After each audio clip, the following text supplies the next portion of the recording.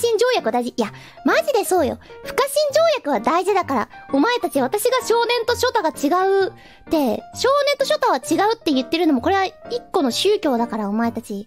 不可侵条約を結ぼうぞ。何が私がショタコンじゃ？お、あら、あ。あら、あ。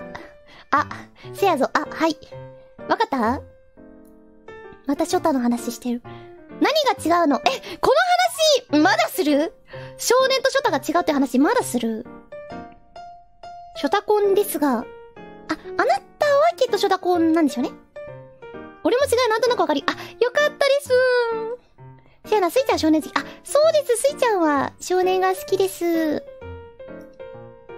なんかさ、あの、スイちゃんが少年が好きだっていう話が、まあなんか、表立って出ているんですけども、まあ今はね、アーカイブないから知ってる人も少ないかもしれないんだけど、あの、私もう一個、フェチと呼ばれるものあって、あの、手袋フェチって昔から言ってたんですけど、皆さん、初めて聞いた人いますか？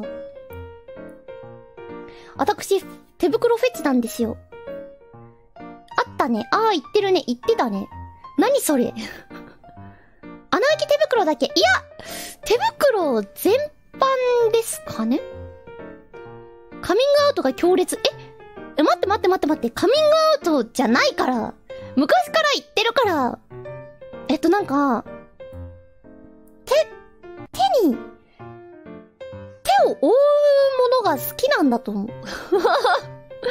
なんか手袋であれば割と何でも好きで、なんかその、いわゆる私がつけてるみたいな指抜き手袋とか、あのショートなね、もうなんか、手首までない手袋とか、もう手の甲とかが見えちゃうタイプの手袋とか、あとはなんか冒険する人がつけるようななんか、レザーみたいな、なんかあの、厚手のね、つけたら手が大きく見える、ああいう手袋とか、それこそ執事さんとかがつける、あの、オーソドックスな、手袋とか、フリフリも好きなんだけど、うんフリフリがついてる手袋とか、手袋とか、手袋とか、手袋が好きなんです。